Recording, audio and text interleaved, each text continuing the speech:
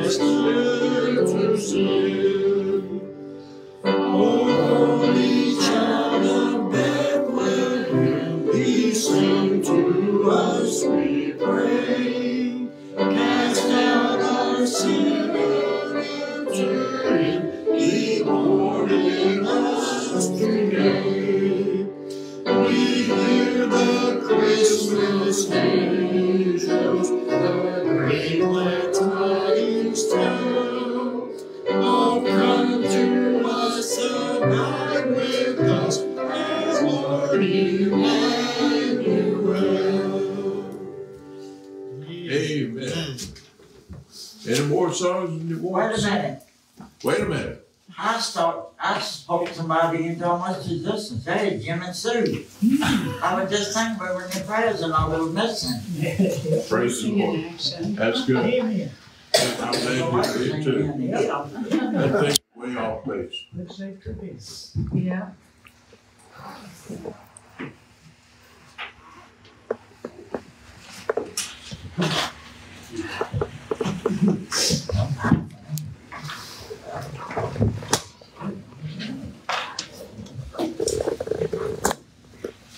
He's a good man, Terry.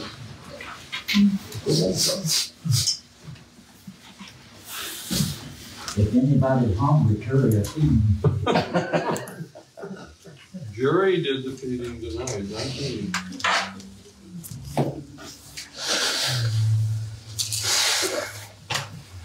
I eat a balanced diet. I have fruit. I have pumpkin pie, I have cherry pie. There you go.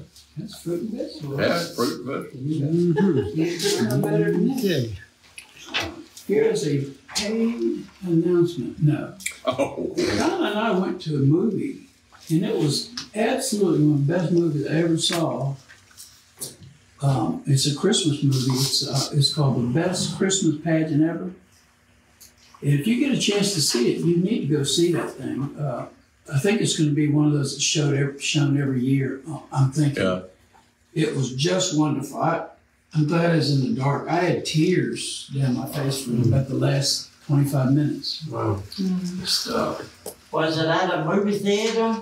It was. It was that one that's uh, I don't know the name of it. Chester Cinema Cafe. Chester Cinema Cafe. It's really inexpensive too. It's like especially for old folks. Yeah. You get like it's like it was like twelve dollars for two people. Wow. And then if you want any food, they come to your cha- seat and, Oh, and really? ask you what you want. Take an order just like you're in a restaurant. And then at the end, they come back and uh, just like in a restaurant, they leave you a little bill, you know, on a little tray thing, and they clean up after you. And, and the seats go back. Oh, They're my really God. comfortable. It's Well, good. now, what was the name of it? The best Christmas pageant ever. That's Christmas, that's, that's, Donna had seen it before me and insisted that I go see. In fact, she was just bugging me to death about seeing it. She wanted you to now I cry. know why. She couldn't see me in it. It was dark. Did she cry too? I didn't look. I was scared. Hey, dark. It was good. Yeah, it was dark. but you know, just talking about that, Alan, I mean, there's so many, most of them are bad, but it's still, the Lord can use, there's still some kind of movies out there, that's, you know, it's pretty good. Yeah. That, that one definitely was. I was very surprised how good it was. Okay, we're in Acts 14. John said, as soon as I walked in today, are we going to be in Acts tonight? He said this is like part 40. I don't know if that's true, but it's close, I guess. All right, we're in Acts 14. We're going to read verses 5 through 20, Uh, part fifty today. part 50. Yes, sir. Okay. and we're halfway through. There's 28 chapters, so so there'll be 100 parts. It's all good. Yeah. It's all good. You know. Acts 14. We're going to uh, read 5 through 20. We've done some of the other verses a little bit, so. Verse 5, chapter 14, verse 5. And when there was an assault made, both of Gentiles and also of the Jews with their rulers, to use them despitefully and to stone them, they were aware of it and they fled into Lystra and Derbe, cities of Lycaonia, and unto the region that lieth round about, and there they preached the gospel. And there sat a certain man at Lystra, impotent in his feet, being crippled from his mother's womb, who never had walked. The same heard Paul spake, speak, who steadfastly behold, steadfastly beholding him and perceiving that he had faith to be healed, said with a loud voice, Stand upright on thy feet. And he leaped and walked. And when the people saw what Paul had done, they lifted up their voices, saying in the speech of Lycaonia, The gods are come down to us in the likeness of men. And they called Barnabas Jupiter or Zeus, Yeah. and Paul they called Mercurius or hmm. Hermes, uh, because he was the church chief speaker. Then the priest of Jupiter, which was before their city, brought oxen and garlands into the gates and would have done sacrifice for the people, which, when the apostles, Barnabas and Paul, heard of, they rent their clothes and ran in among the people, crying and saying, Sirs, why do you do these things? We also are men of like passions with you and preach unto you that ye should turn from these vanities unto the living God, which made heaven and earth and the sea and all things that are therein, who in time past suffered all nations to walk in their own ways. Nevertheless, he left not himself without witness, in that he did good and gave us rain from heaven and fruitful seasons, filling our hearts with food and gladness. And with these sayings, scarce restrained they the people that they had not done sacrifice unto them. And there came thither a certain Jews from Antioch and Iconium who persuaded the people, and having stoned Paul, drew him out of the city, supposing he had been dead. Howbeit, as the disciples stood around about him, he rose up and came unto the city, into the city, and the next day he departed with Barnabas to Derbe. But we see uh, uh, this healing going on, and uh, we're to may have time to get into that. We, I got caught partway down, so we won't wait. We may not spend a lot of time in there. But we know uh, what we've seen here. Paul and Barnabas had preached in Iconium, and a great multitude believed. We remember that. And then, in spite of opposition there in Iconium, mainly from the Jews, they had continued there, boldly declaring the word of grace, the gospel. We talked about that last week. Having been granted the witness of signs and wonders, the same as Jesus had, as well as those he sent out to the cities where he himself would come. So, talk about this that they, they got these, uh, the power of God was there with their witness. And so there were signs and wonders which drew more people, and more people believed them because of the signs and wonders. Uh, now, that includes back in Iconium, the same thing had occurred. Remember, they stayed there and there were all of these signs and wonders. The same thing that Jesus did. We, we, read, we read that last week. Exactly the same way Jesus worked. And if you'll remember when he sent out the 40, uh, the, the uh, 12 and then the 70, they also had those same powers to cast out demons and so forth. So this was the, the way that God was operating, Jesus was operating in building his church. Um, prove he's God, tell them the gospel, and by faith they, they would be saved. That was the way it would work. And then these people that got saved, their their whole deal would be, I'm a witness to what they did. Remember the resurrection of Jesus? That was a big deal. Those who saw that resurrection, that's all they preached for a long time because they were the only ones that had seen a resurrected Jesus. Those, those few people. So whenever they told the gospel, they would tell about, no, I talked to him, I saw him, we ate with him, I, I reached my finger into his side, and so forth, right? They saw, they knew that he was resurrected, so um, they were they were witnesses. That's a sign and a wonder, also, right? On the day of Pentecost, were there signs and wonders? Oh, yeah. Yes, when Peter preached that little tiny message and 3,000 were saved, is there, are there signs and wonders? Absolutely. I mean, think about what we're saying. All of this was like, it's miraculous. And that's the way everything was being dealt with. So that's what, that, that's what, what we have talked about last week, including the, the idea that, um, the word of grace is the, the, the, the terminology for the gospel because it, that's what it is. It's, it's God's grace being shown in uh, that we only by faith, only by believing, uh, can we be saved, and that's by His grace. Um, then uh, again, last week they hear that plans were underway to stone them. We just read that, so they they fled to the next towns and the area round about, which would have been here in Lystra. That's where we are in verse six. They fled unto Lystra and Derbe cities of Lycaonia and into the region uh, round about. So that would be the surrounding areas. They were at first at Lystra. Lystra was 20 mi- miles south, about 20 miles south, and it was rough terrain even there. Everything that they're, they've gone through so far is a lot of mountains in that area, evidently. Uh, Derbe, on the other hand, which will be the next city, was 60 miles east of Iconium. So that was a pretty good distance right there. So here in verse 7, that's about where we are now. There they preached the gospel Lystra. There were probably just a few Jews, and we know that because if there was a certain number of Jews, they always would form a synagogue. They would meet somewhere. There was no synagogue there. Remember, every place they've gone so far, the first thing you do is they go find a synagogue. And they would preach to the Jews first. And we've seen where the Gentiles would hear and say, Preach to us, preach to us. And the Jews would reject them for the most part, but the Gentiles uh, would uh, really latch on to that gospel and believe. Okay, so so they they preach just to the, the, the locals, the, the Gentiles. They're preaching to the Gentiles there. But there are some Jews there, of course, but there, there's no mention of this Jews and Gentiles.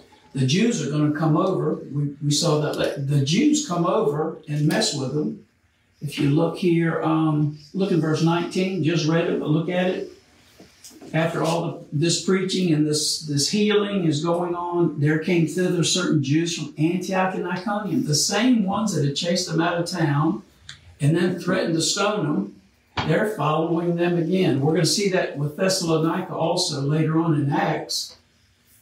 They form a church in, in Thessalonica and they have to get out of there because they're, they're they get threatened. They go to Berea and those same Jews fo- follow them to Berea. They, they just like would not let it go. They thought that they were blaspheming their God, Jehovah God.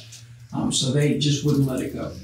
Uh, we know that it was really of Satan rather than any deep belief. Right.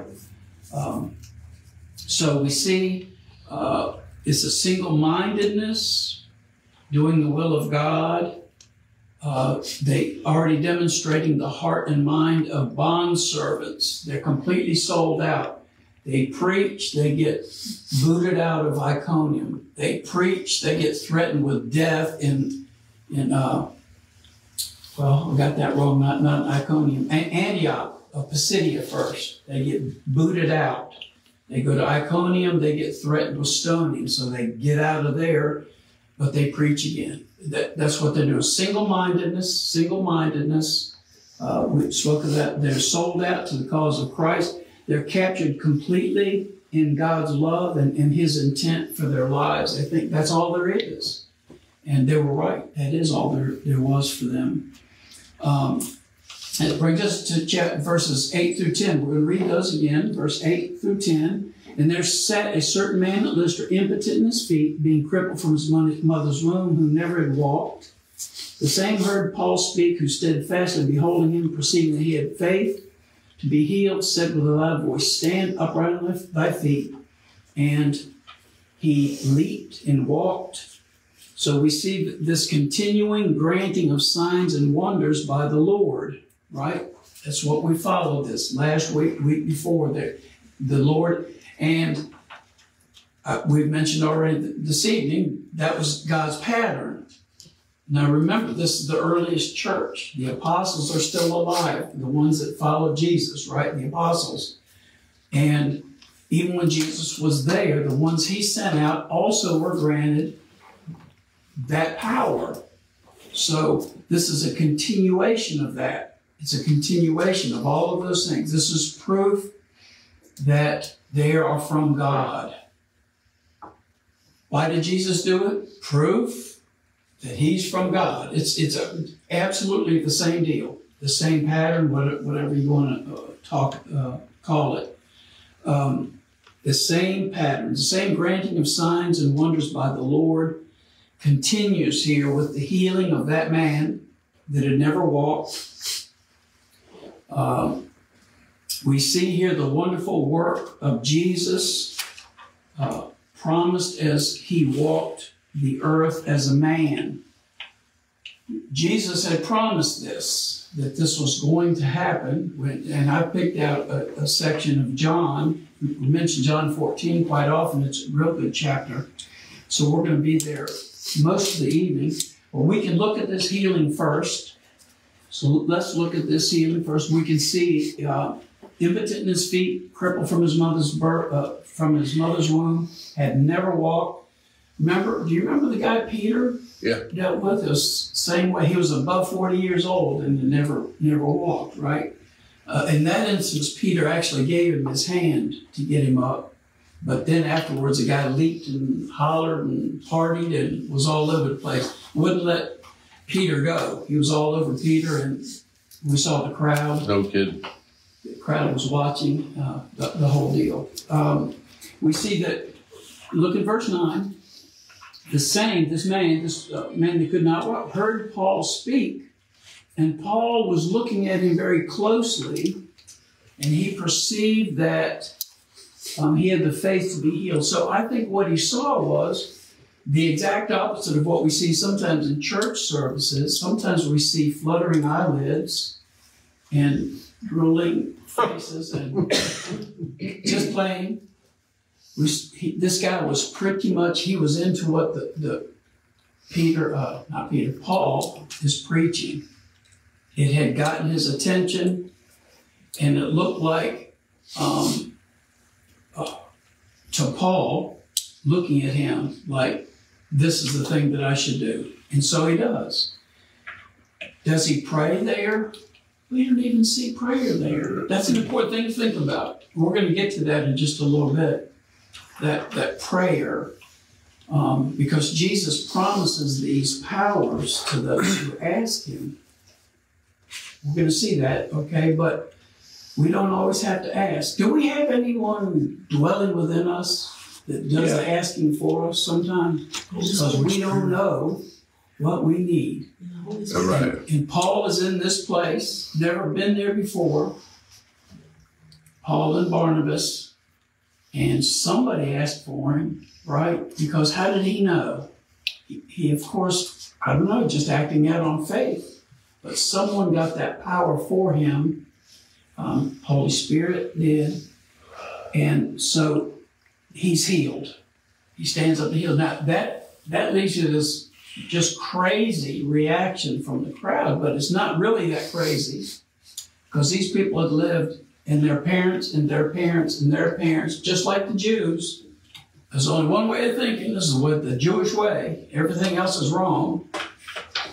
That's why they couldn't include Jesus. You know, well, he's coming. He just hasn't gotten here. It's not that man. From Galilee? You got to be kidding me. Nazareth? What good thing comes out of those towns, you know? So you see, these people are worshipers of these Greek gods. You, you, you've seen that Thor and Zeus and all of that junk, you know, those mythology things Yeah. that we, we read, but they actually believed they were gods. Um, later on, Paul gets to Athens and um, he's completely overcome as he sees all is wholly given to idolatry, right? And he preaches to them the unknown God, which was our God. They didn't know about that God, the real God, right? Anyway, so it's not that crazy, but it, it almost got Paul killed because they waded into that crowd and they had some nasty Jews that had arrived. And the Jews fired everything up and got him stoned, but he survived. Anyway, let's look at this this idea that what we're seeing, because I think it's important to study this, and look at it at least in, the limited way that we will tonight.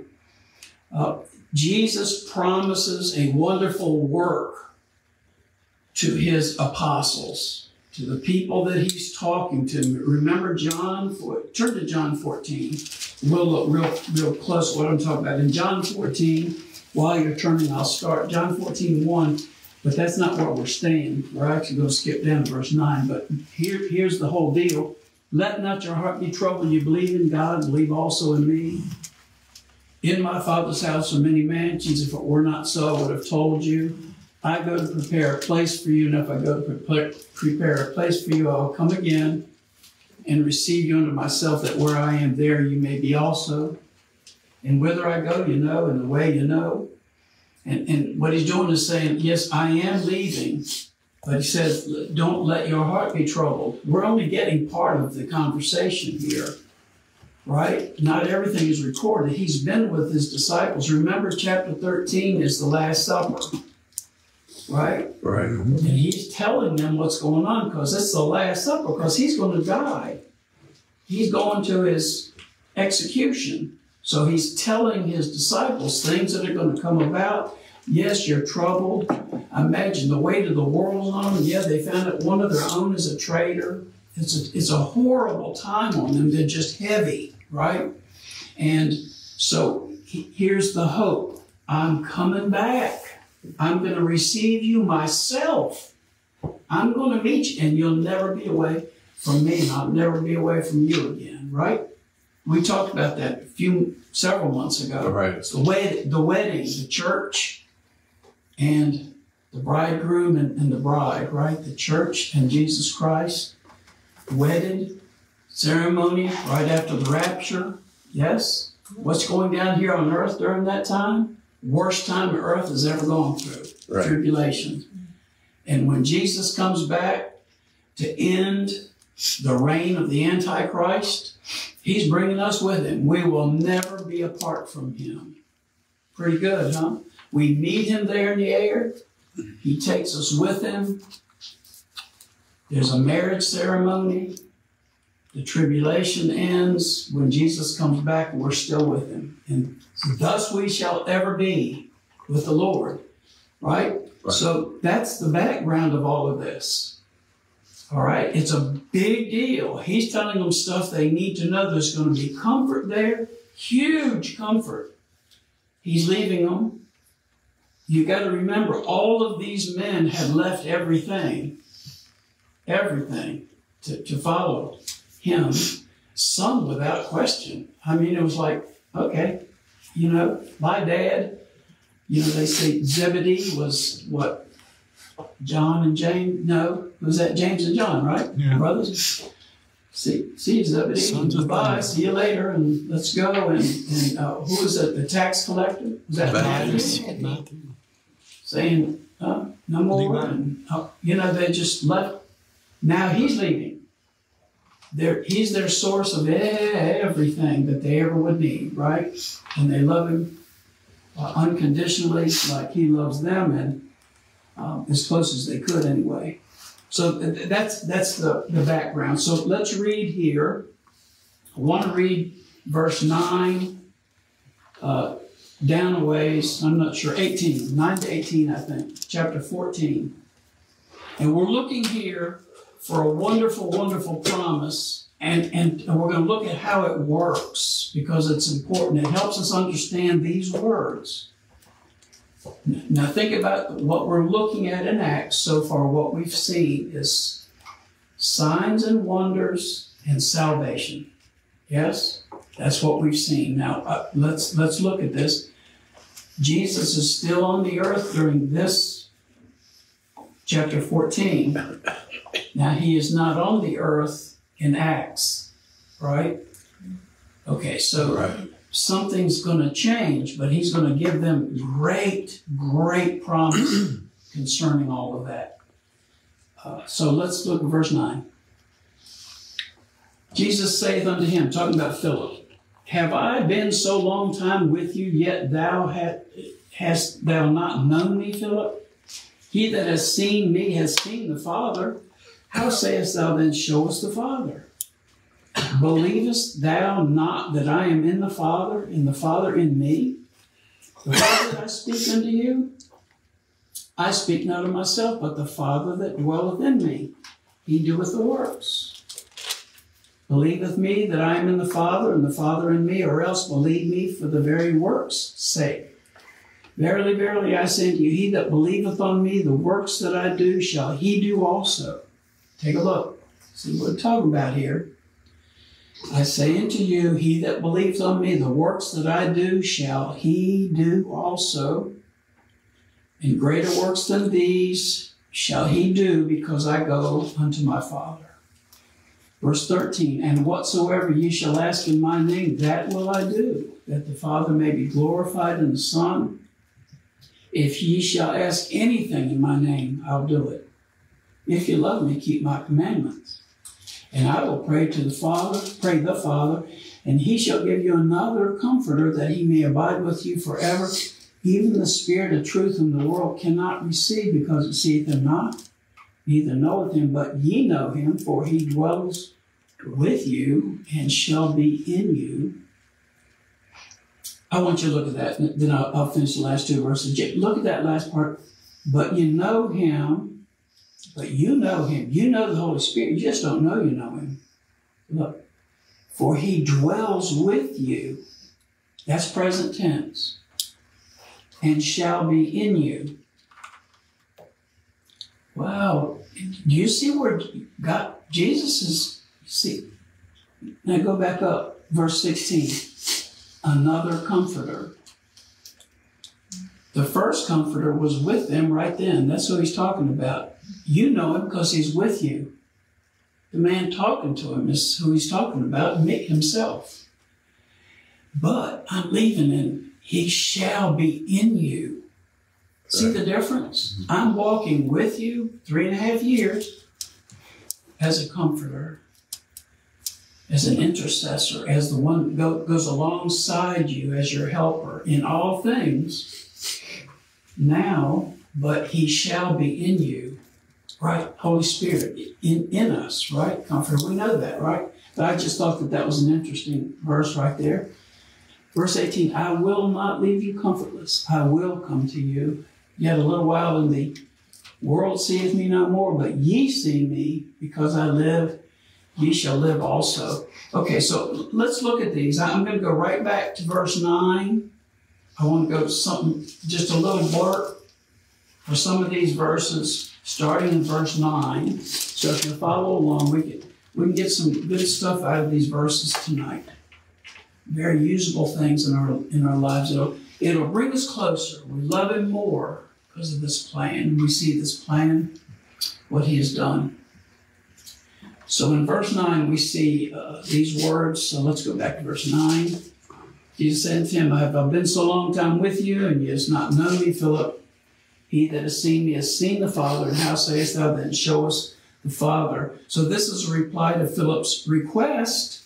Philip had said this, Lord, show us the Father, and, and it'll be, that's all we want. Show us the Father. And you, you can see that there in verse um, um, 8. Philip said to him, Lord, show us the Father, and it sufficeth us. So what we're seeing here is a reply to Philip's request to start with. Um, Lord, Philip's a reply to Philip's request. Lord, show us the Father. Yeah. Um, this is uh, verse ten. Go to verse ten. Believest thou not that I am in the Father and the Father in me? The words I speak to you, I speak not of myself, but the Father that dwelleth in me. And he do, do the, and I put an and there if I was writing this because there's two things dealt with. I am in the Father and the Father is in me. The words I speak are the Father's words. So we already knew that, right? The- that- you can see that in verse 10. The words that I speak are the Father's words. But there's another thing. And the works I do are of the Father. Do you see that? Yeah. At the very end, it doesn't say words again. He doeth the works also. So it's God as Jesus, as a man on the earth, is saying, The works that I do, the Father is doing those works. And the words I say are from the Father. There's nothing of me, it's all of the Father. He's telling his disciples, and this for us today, it was for the disciples then, of course. Um, he works through me, he speaks through me, right? Now, what do we know so far about Jesus' works? Tell me something about because we've been talking about him a little bit. What were Jesus' works? Healing, Healing, all kinds of healing, forgiving, forgiving. Yep, Turned water into wine. Just a plain w- miracle. Water into wine. Yeah. Yes. Preaching. Preaching. Yes. Teaching. Teaching. He walked on the water. Walking on water. Feeding the five thousand. yeah, Calming the storm. Right. all right. There's so many things, but Jesus is saying, all those things that I do, it's it's the Father working in me, working through me. He's work. He's using me. You see me. You don't see the Father, but everything that I'm doing and saying is of the Father. Um, verse eleven. Let's look what he says here in verse 11. Believe that I am in the Father and the Father in me, or else believe me for, for the very work's sake. So he's saying here, look, believe me. Just believe what I'm telling you. I'm in the Father. That's called faith. Just believe me, right? Believe what I say, which is faith, or do this. Believe for the works that you see. So one or the other, just believe that I am who I tell you that I am. Because I say it, believe it. That would be the best way, wouldn't it? Mm-hmm. But then you've also seen my works for three and a half years. You've seen my works. So believe me for the if you gotta have the works to believe, that's all right. What do we know about Jesus' work? Well, they were of the Father, but what else do we know about the Father? Uh, the works, excuse me. We looked at it last week. It's a great verse. Keep your finger there, but just go back to chapter 5 real quick. We're only going to read one verse this week. We read about 8 last week, 6 last week. John chapter 5, verse 36. 5, 36 of John. Then we're going to go back to 14. 536. But I have greater witness than that of John for the works which the Father hath given me to finish. The same works that I do. Now look at what he says. The works bear witness of me that the Father has sent me. Okay? That's that's very important. Look, believe, just believe me. Just believe what I've said. That the Father is in me and I'm in the Father. Have faith that what I say is true. Or believe me for the very or for just the works that you see. And, and looking, we're, we're looking back in verse 11 again.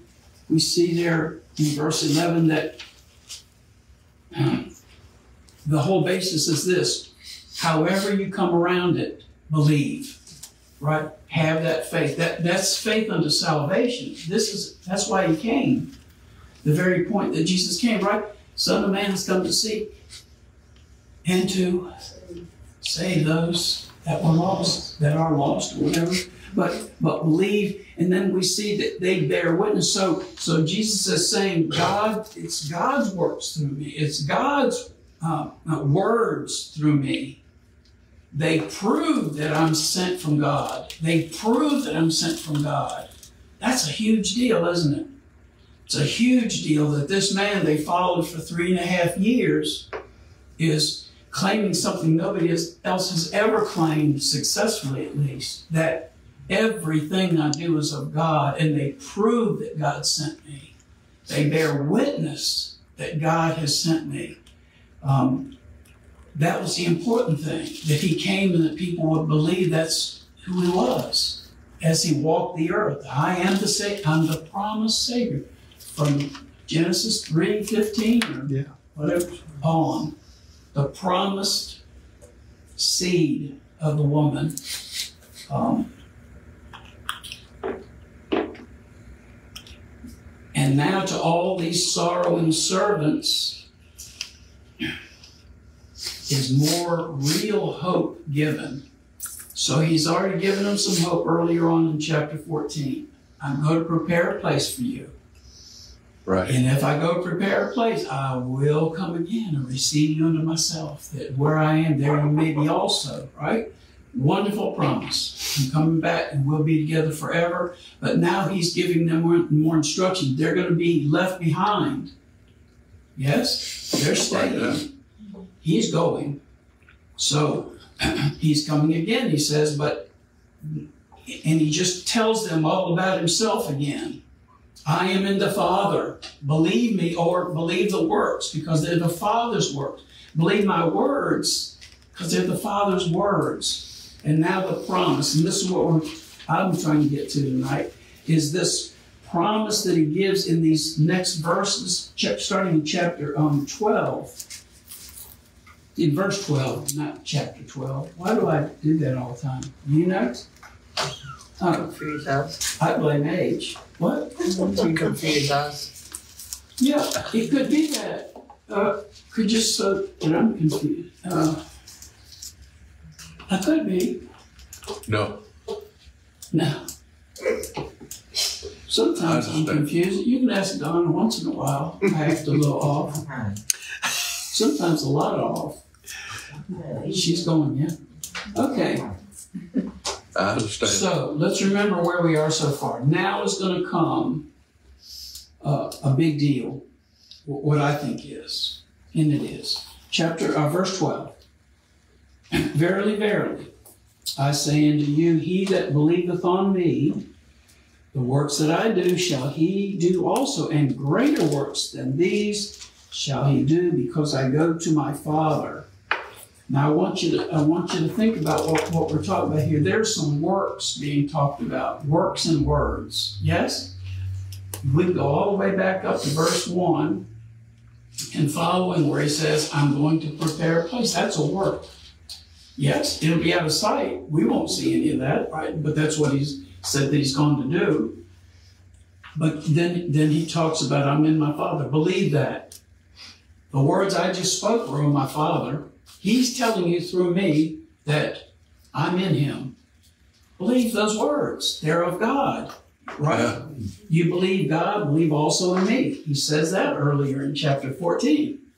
You believe God, and you should, but believe me because I came directly from him. The works I do and the words I say prove he sent me. They're his words, they're his works.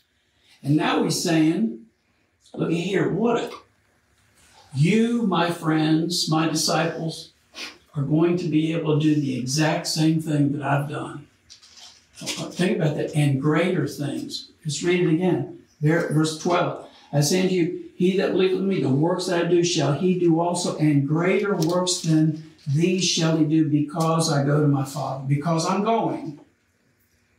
I've got to go. He says that in another place where we won't turn there, but it's in one of these, chapter 14, 15, 16, one of those three. I've got to go. If I don't go, I can't send a comforter. That's the big deal. So I'm going to my Father. And because I go to my Father, you all that believe in me will do greater works than I have done here on this earth. Greater work. Now, when we say greater, we're not talking about anything except quantity, not quality. In other words, I want you to think about this. You had before, well, we can just go to Acts. We could, but let's go back to, let's go back to the 12. They went door to door, right? Preparing the way for Jesus. They went door to door to prepare the, the way Jesus was going to come visit those little towns later. So he was saying, You go ahead of me, prepare the way. And he was going to tell, they were, they were going to tell them about repentance, of course, and remission of sins, of course, right? That was the whole deal. And the kingdom is coming. The kingdom is coming, right? And, and his name is Jesus. He's going to talk to you, right? He's going to be here.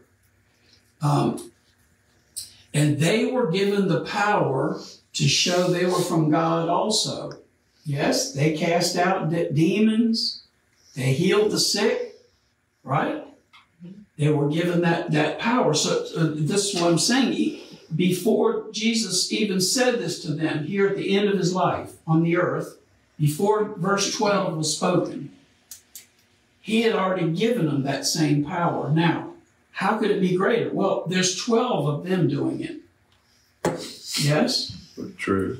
Later on, he sends out 70. He gives them the same power that he had to go out there, witness, and to prove they were sent from God. Same reason he did them, to prove he was from God. The same word that he spoke was to prove that he was from God. They were God's words, God's works.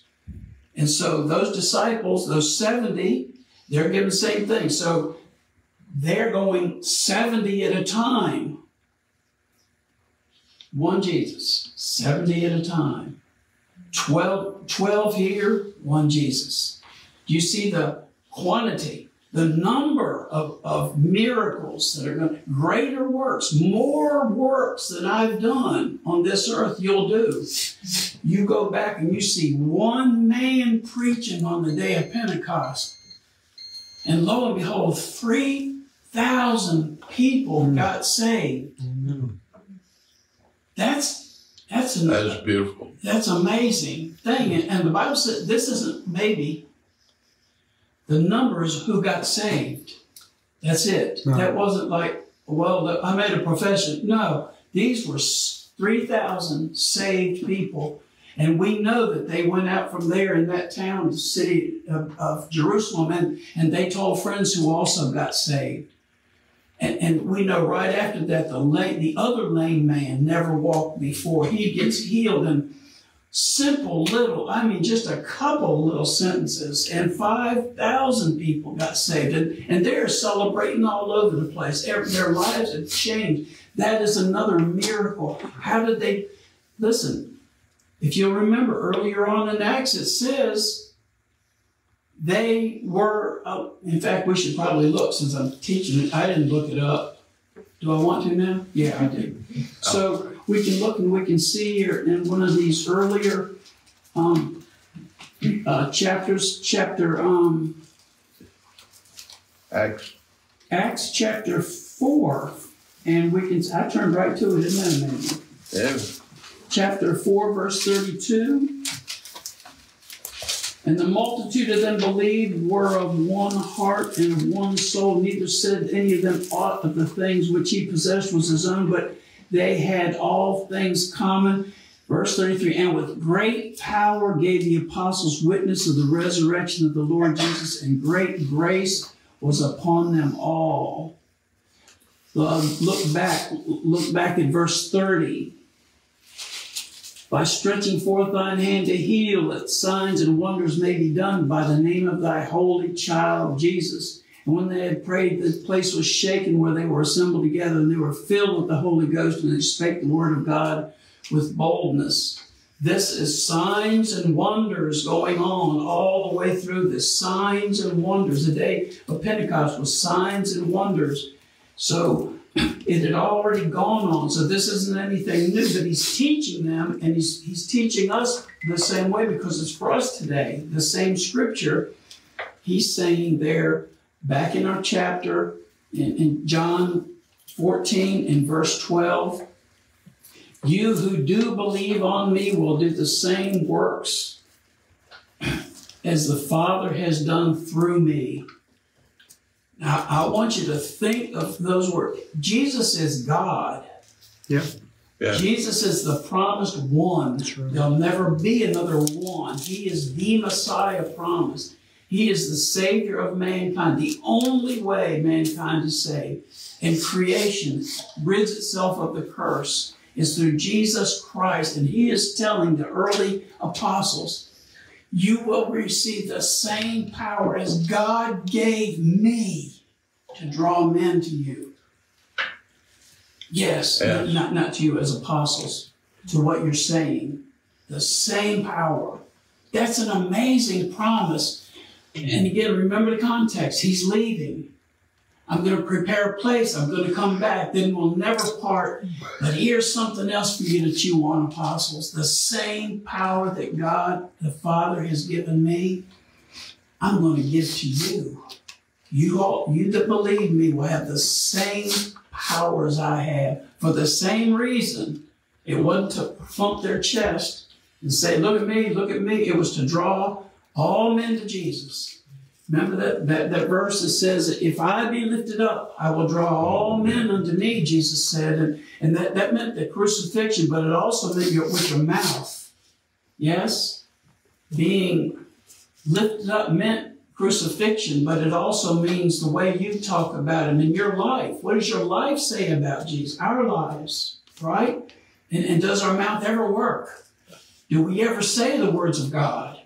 Like Jesus said, the words of God, the apostles, when they went out, were saying the same words and doing the same works.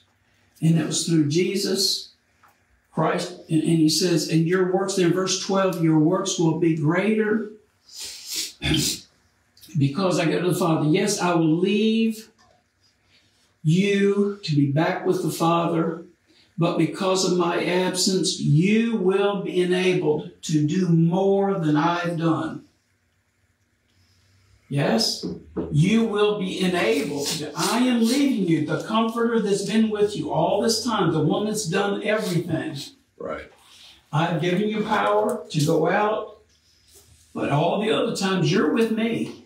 And I'm the power. I'm always the power. I'm always the one speaking. I'm always the one preaching and healing. And, but when I leave you, I'm going to enable you to do those same, same things.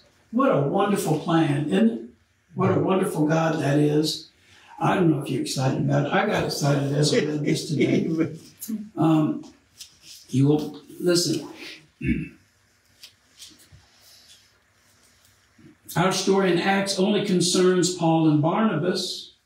And I've already mentioned this, but think about it. We had Peter, John, we just read some of it. They did likewise.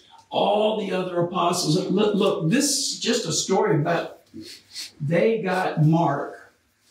No, not, well, not no one, Matthew, Luke. Luke traveled with them. Luke wrote Acts. I knew I'd come to it. Yeah. I don't know all 12 of them, so I don't know. Luke recorded what was going on, but had Luke traveled with Peter, we, we would have seen the same things going on. If, if Luke would have traveled with, um, uh, name another apostle, uh, another disciple. James was dead. John. Oh, if he had traveled with John. You say, how do I know that? Well, it wasn't recorded. Well, how do I know that? They all died a martyr's death. Mm-hmm. And They, they did what they were supposed to do until they died, until they were murdered. Yes? They didn't, the people they went to were all over the world. They didn't want to hear what they had to say, so they killed them. Had no argument for it. So let's just kill them. Um, so we go on. There's, there's more here in, in this passage. We're in verse 13. I'm going to read 13 to 18 because it goes together. And this kind of ends the thought for tonight. It can't be seven, can it? Did we start on time? Oh, good. So it's not. 702. 13, verse 13. Now remember, listen, this all goes together. Verily, verily, say unto you, he that believeth on me, the works that I do shall he do also, and greater works than these shall he do all do, because I go unto the Father. And whatsoever ye ask in my name, that will I do, that the Father may be glorified in the Son. If ye have anything, if you ask anything in my name, I will do it. If you love me, keep my commandments. And I will pray the Father, and he shall give you another comforter, that he, he may abide with you forever. Even the Spirit of truth whom the Lord world cannot receive, because it seeth him not, neither knoweth him. But ye know him, for he dwelleth with you and shall be in you. I will not leave you comfortless. I will come to you. And and uh, yeah, we ended there. So this here's the enabling right here when it talks about asking, and I mentioned this earlier about the Holy Spirit asking for us, and we'll, we'll turn to that in just a second. I think we've got time to. We see that um, this is the enabling. Remember, what was my statement? I'm leaving you to be with the Father, but I'm going to enable you who are left behind, you who believe in me, that I'm leaving behind you. Are, I'm going to enable you to do the very same works and more than I've done, right? Right? That's while I'm gone. That's what you're going to be busy doing now. You're going to be busy doing those works. I'm going to enable you. So here's the enabling. As God the Father enabled me, how did God the Father enable Jesus? He spoke through him and he did works through him. Yes? Yes. So here's here's Jesus Christ in a human body, but he's enabled by the Father to do these works and say these words. He's enabled, as God the Father enabled Jesus, words and work, to draw all to himself to glorify the Father. So, says Jesus, so I will enable you to do greater works than mine, which also will draw all men to me and glorifies both the Father and the Son. Okay, so why is that important? Remember the verse 536 of John, the works bear witness of me that the Father has sent me. So these works that they're going to enable him to do, and the words that they say, they will also do the same work they did for Jesus. They drew people to Jesus, and through Jesus, they knew the Father, right? There's no way to the Father except through the Son. Son. Son. They were drawn to the Son so that they would know the Father and they would be saved. Their, their sins would be remitted. They would repent. They would lead a different life. So we're seeing those disciples that are left behind are given the same power to do the same thing. So Jesus has gone on, but there's somebody left here carrying on that identical work Yeah. right? The- In the same way, same kinds of works and the same words as Jesus used. They'll draw all men unto the Father and the Son to glorify. Think about this power also of Jesus. Jesus himself performs these signs and wonders, but also what power he has when he is able also to give those who believe in him the identical power power to do all those, but now I'm going to say, all y'all that believe, you got the same power. Now, I don't even have to touch you. You got the power. Walk out of here and witness. Just going out there. That's power, isn't it? That's It's right. power to be able to not just do the works, but to enable others to do the works. The enabling, all glory to God, to draw all to Jesus, the Savior. Um, those the power that He gave to them. The enabling told of is through the Holy Spirit, who is another comforter. Now look at the word these these verses here. This is the asking. Um, the asking in context. Read verse 13 and 14. Whatever you ask in my name, that will I do, that the Father may be glorified in the Son. If you ask anything in my name, I will do it. I want you to look at that. What's he talking about in the asking? He says anything, but in context, what is he asked? What is he telling them that they? What's he? Uh, uh, he doesn't say what he expects them to ask for, but what does the context say that he's talking about? What would they be? What would they be asking for? In in the context, what has he just talked about? Greater works than these you'll do, right? So here, they would be asking for him to do the same work through them as he did through Jesus' son, right? Right. The asking would be this: this man that that Paul approached that had never walked. We said he didn't pray.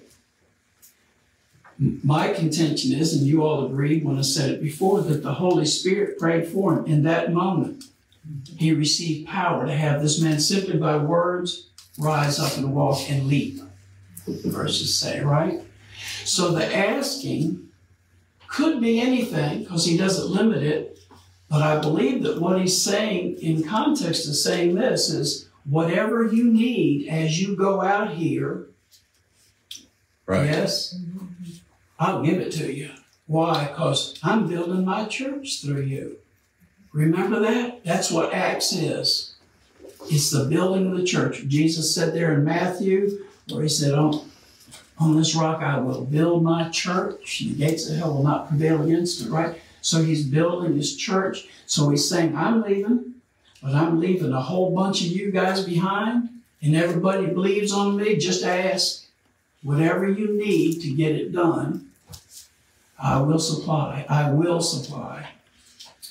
Um, all things needed to complete the task at hand would be supplied by Jesus through the Holy Spirit. And I say here, sometimes and very often the Spirit asks for us because we don't really know. How does that work? I think it, it works because we don't know how to do, but we're in contact with the Lord. I think sometimes we're praying, we're praying, we're feeling close to the Lord, but at the same time, the Holy Spirit's praying what we really need because we don't always know. Look, if you would, this will be the last time you have to turn, I promise. Okay. Look in Romans 8, 26 and 27. Romans 8, verse 26 and 27, we see.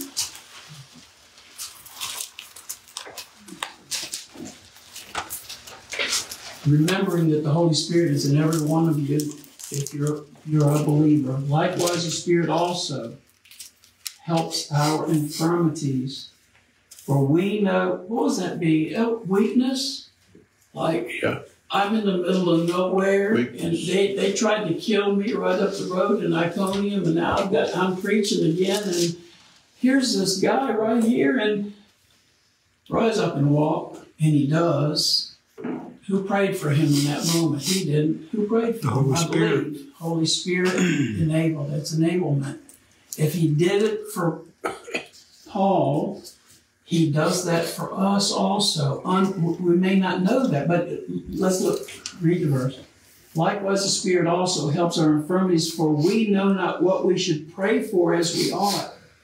But the Spirit itself, Himself, maketh intercession for us with groanings which cannot be uttered. And he that searcheth the hearts knoweth what is the mind of the Spirit, because he maketh intercession for the saints according to the will of God. So the prayer for us by the Holy Spirit is always according to the will of God. And what is the will of God? He's not willing that any should perish. Yes? That's And he is willing that we would do his will. He is willing for that. That is what he wants. And we need to be enabled. Yes? You, we can't do it ourselves. It's, it's an impo- We can do some of it, but we'll soon get tired or we'll get maybe bored with it. I don't know.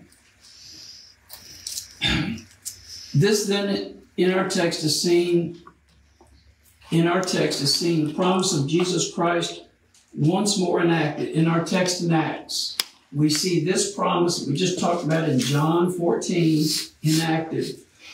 It would be like Jesus saying, I have done great things among you to draw you and to prove that God the Father has sent me to save you. Um, and in John 20 it says, As my Father has sent me, even so send I you. You're fully equipped to prove whose you are. That's for us. You are fully equipped to prove whose you are. Who do you belong to? These men that worked, listen, the, the, the people that went out, these people we're talking about, they did the signs and, and wonders, they were fully equipped to prove who they were so that people would be drawn to Jesus and then they'd know the Father, right? We also are, I'm not talking about you and me making miracles. I'm not, I'm talking about proving who we are. We are also equipped to prove who, who we belong to. Uh, and the purpose of God would be to glorify God and to draw everyone to salvation. So our lives should be different. Our words should be different. We should have a witness that comes that's always ready for the reason, for the hope that's in you. The Bible says, Why are you like that? Well, let me tell you, I know I'm going where I'm going when to take my last breath. Right? Always ready, always ready. Clean living, apart from sin, not taking part in anything evil. Not, not, but then the positive side is always reading, always praying, always seeking God's will, and then knowing this You got a Holy Spirit that in whatever situation you find yourself in and you want to witness, you're equipped. Holy Spirit is going to give you just what you need. He's the power behind the words that you speak to that person. Yes? You have to say them. The disciples had to say the words. The power was not of them, it was of the Lord. His Holy Spirit enabled them. Anybody have any uh, comments? I know it's late, so. I have a question. go ahead. So John has a question. God the Father and Jesus the Son gave the disciples and the 70 the power to do works, signs, wonders, miracles, healing. And in the passage, it talks about um, anything you ask. Do you think that God still does that today to people? Give them the power to do any of that signs, wonders, miracles. Uh, I've heard missionaries say that it's happened. Uh, they were in places that were had absolutely no way of having uh, scripture. It wasn't even written in their language. I can remember uh, a missionary talking at uh, Broadway where um, he, he watched them walk across hot coals. And he was invited to do the same thing, and he did, and he didn't get burned.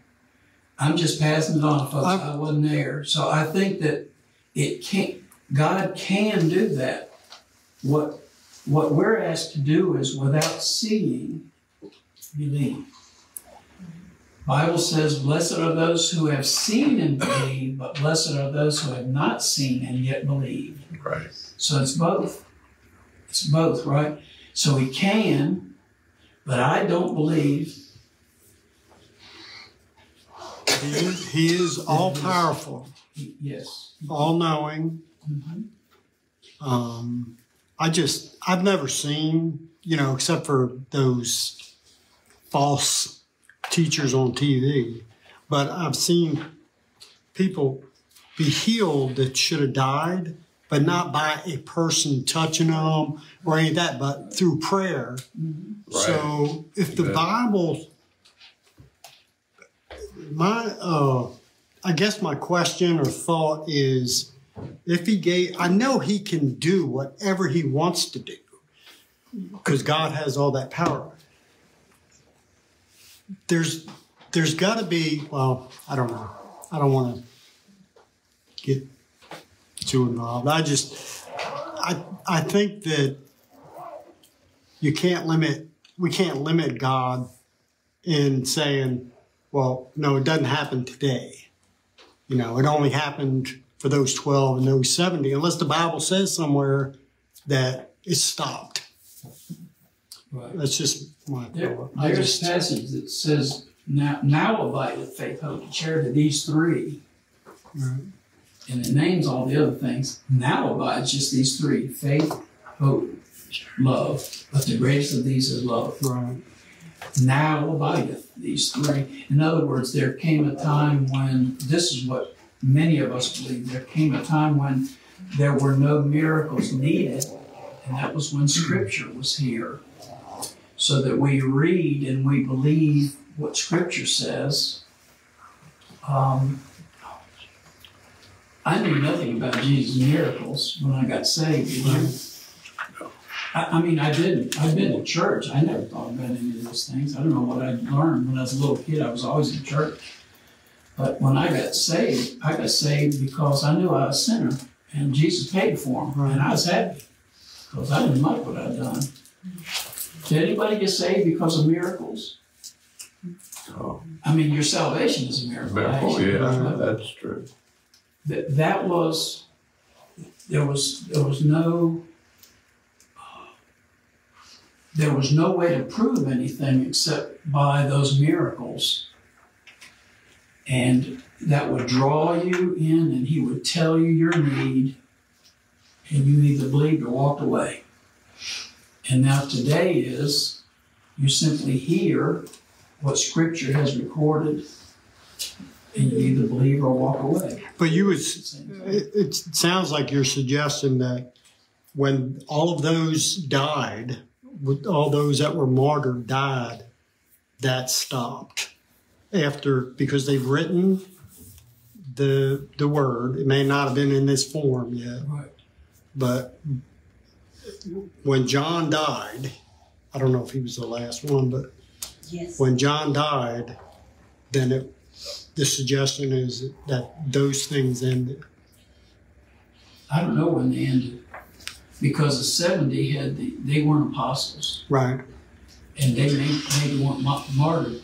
I, think when when the church got to where it had something to do with this Bible being put together, yes, it did have that, something to do with that. But uh,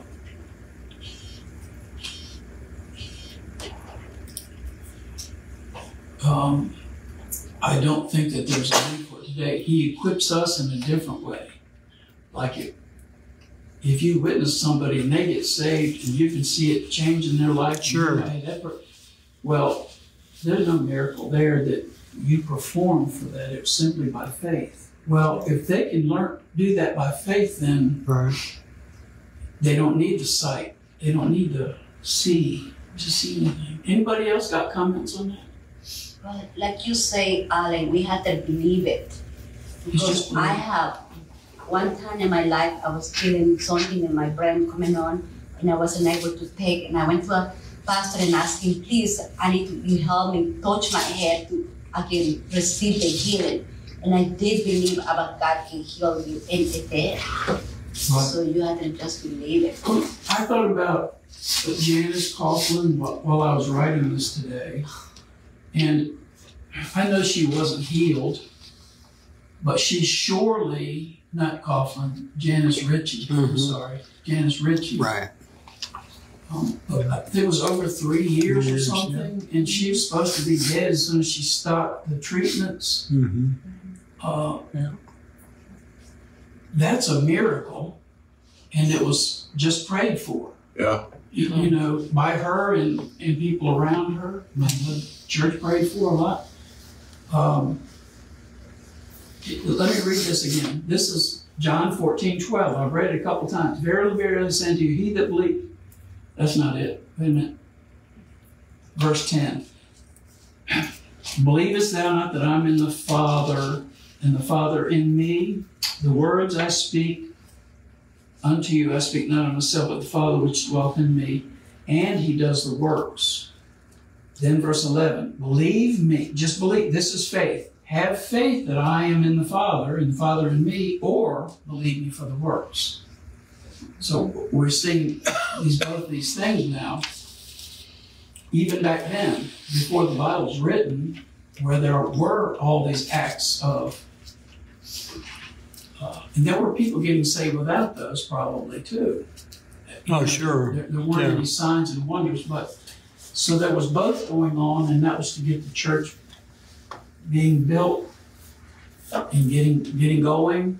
Just really the emphasis. Well, there was people that just heard Peter's preaching, or Yeah. Paul's preaching, that came to know Christ. yes, with, without any signs and wonders. So Sure.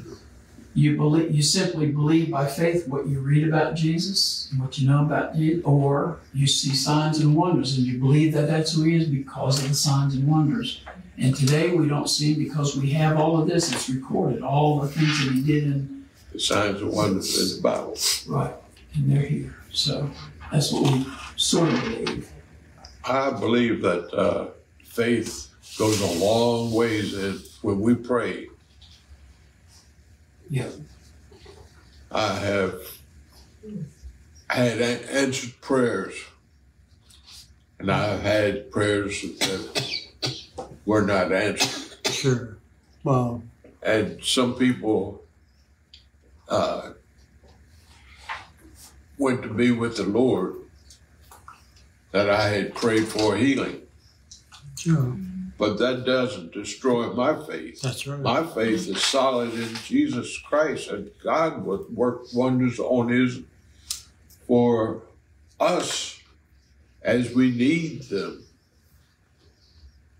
But it doesn't destroy my faith if he doesn't answer my prayer because he did it his way. Right. And his way is right, Yeah. no matter what my way is thinking.